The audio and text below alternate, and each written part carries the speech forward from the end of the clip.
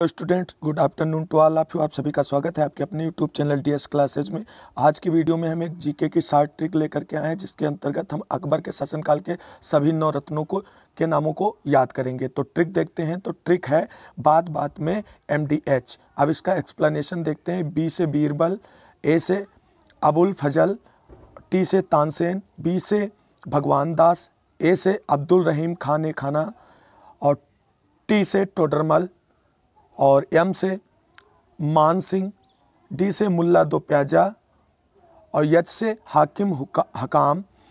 और साथियों, ट्रिक अच्छी लगी है तो लाइक कीजिए, शेयर कीजिए और चैनल को सब्सक्राइब कीजिए। मिलते हैं अगली वीडियो में, तब तक के लिए जय हिंद, जय भारत।